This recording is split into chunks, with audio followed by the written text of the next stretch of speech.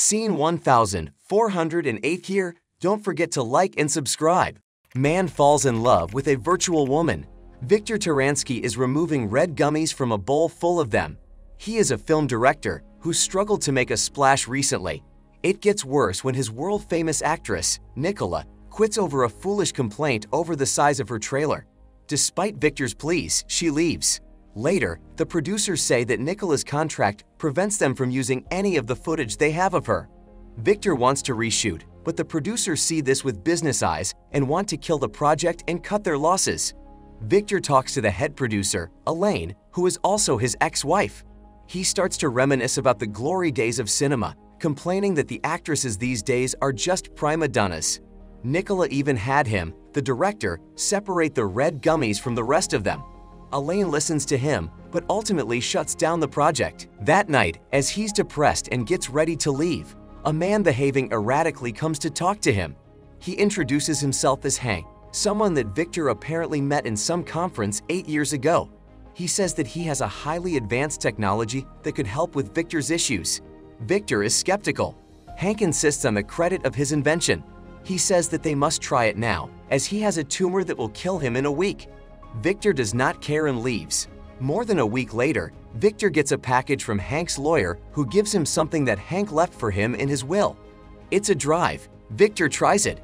It's a program called Simulation One. Cut to nine months later.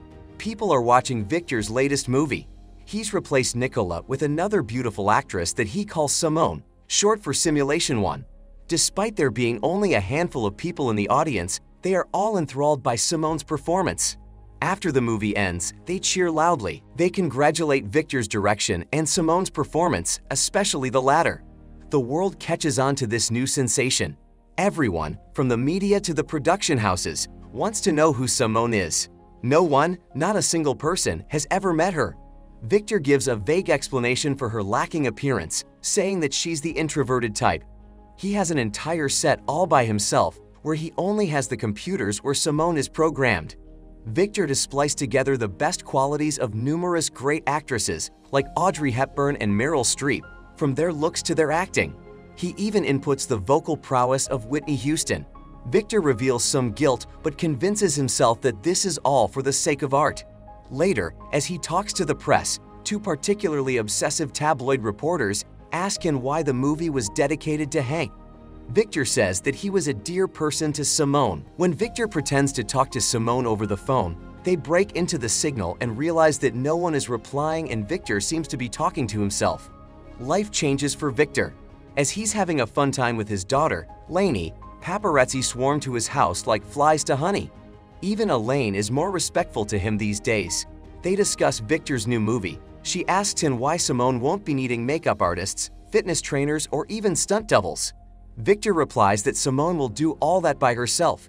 He then goes to the cast of his new movie and says that they will not be acting alongside Simone. She will shoot her scenes separately. The cast accepts this as they're just happy to ride on the coattails of Simone Mania. Victor then calls Simone. As the cast members get to know her, he runs to his private set just in time for the recorded message to end.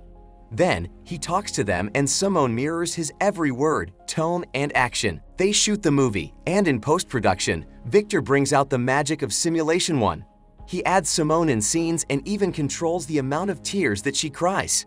In order to control expectations, he rents out a suite in a hotel, claiming that a woman named Anamis will be taking it. The concierge realizes that it's a name for Simone reversed and does what any good gentleman would do that is calling the entire freaking paparazzi to the hotel. Victor is happy. He hoped that would happen. He goes to the suite and sets up the room as if it was habited by a woman recently. After that, he goes downstairs where the paparazzi eagerly wait for Simone. With a woman hiding her face, he runs to the car and they leave. The woman is a stand-in actress named Faith.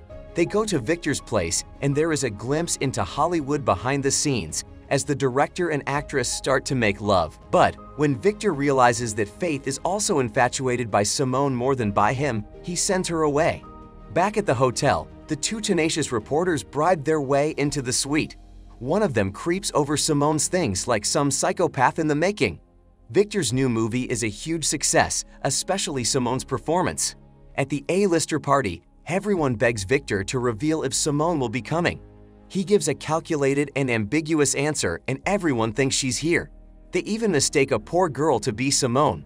Tabloid reporters, who apparently work for ECCO magazine, found no prints in the suite, so they make up a fake story about Simone's childhood. Victor is furious about this, but he has other wrecking balls to stop. The producers want Simone to come out and promote the movie. They enter Victor's private set and see the computer set up. Victor claims that Simone is just addicted to computers and is also phobic to people and germs. The producers are only mildly understanding.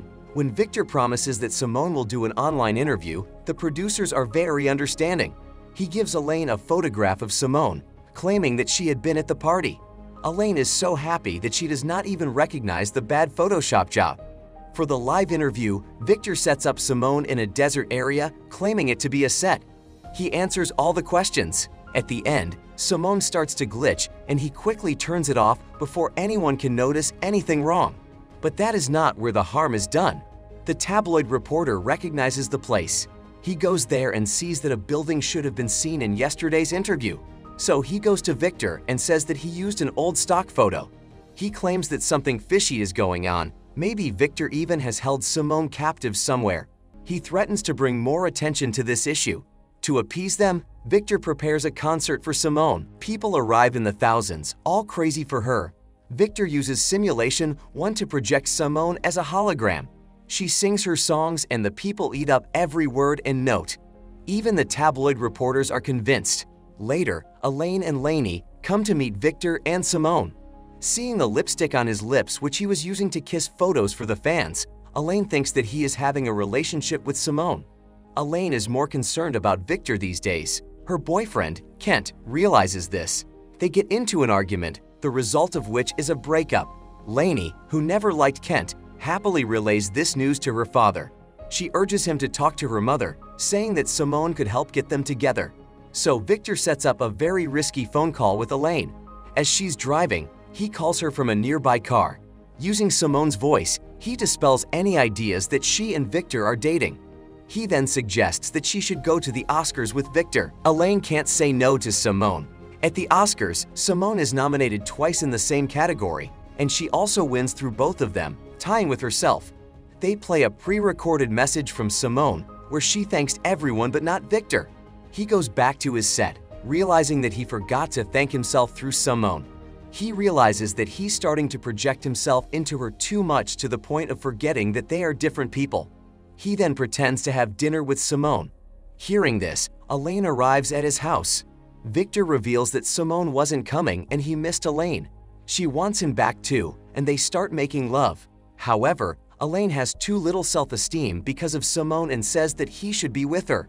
Victor reveals that Simone is only a program. She's an image that he made. Elaine says that it is not Victor who made Simone, it's her who made him.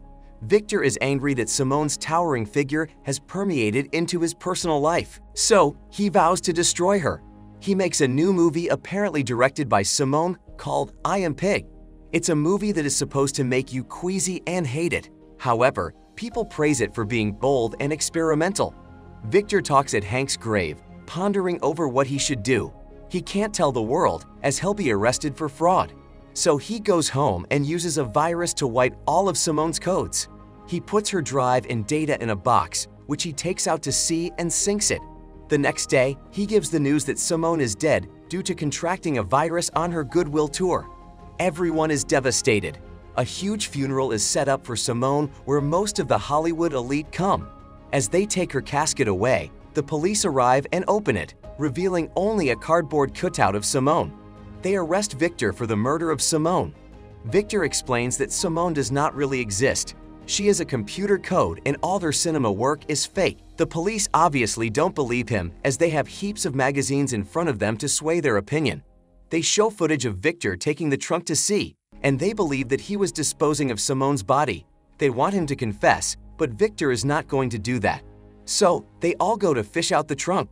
The trunk is empty because of a broken lock, and sharks swim around them. The police believe that Simone's body was eaten by a shark. Later, Victor admits to his attorney that he just wanted to be known, to have his art seen and accepted, which is why he pushed Simone's image. His attorney wants him to plead guilty with an insanity defense. Elsewhere, Lainey and Elaine explore Victor's set. Elaine is mad at Victor for the death of Simone, but Lainey brings up an important point. Neither of them really met Simone, not in the flesh. No one did. Elaine also starts to question the whole thing. Lainey uses the virus to rewrite Simone's code. At the police station, Victor is starting to get frustrated with his attorney. Just then, the police come and put on the news. It's Simone reading today's newspaper. Since Simone is apparently still alive, they let Victor go. A horde of reporters wait for him, but he rushes straight to the car where Elaine and Lainey are waiting for him.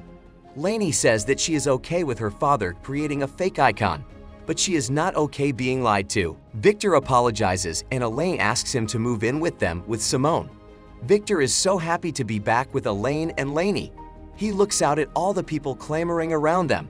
He says that this is life and they drive away. Later, Simone is giving an interview.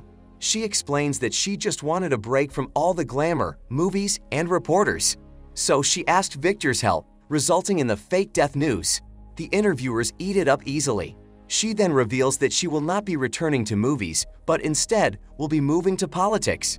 She shows them a little baby, her baby, which she apparently had with Victor. Victor is actually sitting alone in front of a green screen. Here, this movie ends. To watch more awesome and thought-provoking movie recaps, please subscribe to Cine 1408. Don't forget to like this video and tell us in the comments which movie you want to see.